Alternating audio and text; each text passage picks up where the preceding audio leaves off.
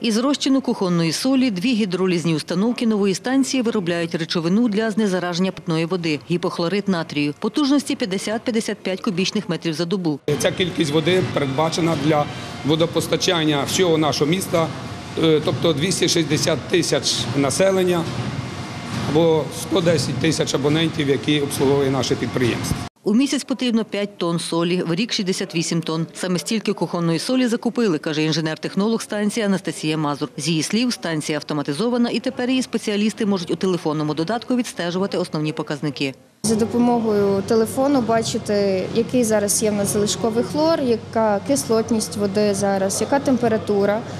І взагалі бачити шкалу, як змінюється цей хлор, тобто навіть не підходячи до машинного залу. Раніше нам потрібно було кожну годину робити досліди. Нову станцію виробництва Данії купили в київської фірми. Коштувала вона майже 12 мільйонів.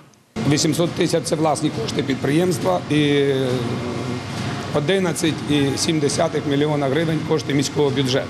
Хмельницький міський голова Олександр Семчишин розповідає, нова станція дозволить водоканалу економити в рік півтора мільйони гривень та заробляти гроші.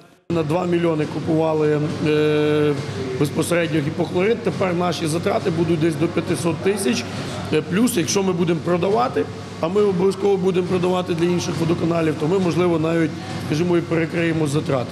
Гіпохлорид натрію до цього купляли на заводі Дніпроазот, де часто були перебої, каже директор Хмельницького водоканалу Віталій Кавун. Ми на сьогоднішній день є незалежні від виробника гіпохлориту, який є всього-навсього один в Україні.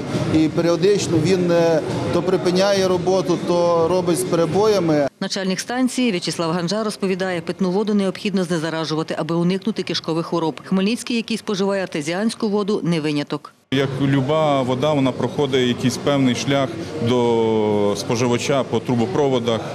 Її треба знезаражувати обов'язково. Директорка київської фірми, яка будувала і встановлювала обладнання станції, розповідає, Хмельницький – третє місто в Україні, де працюють такі установки.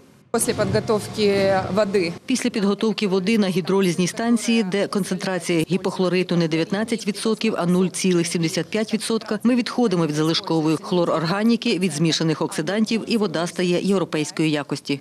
У черзі на такі станції, каже Алла Головко, Херсон та Коростень Київської області. Світлана Поробок, Олександр Горішевський. Новини на Суспільному. Хмельницький.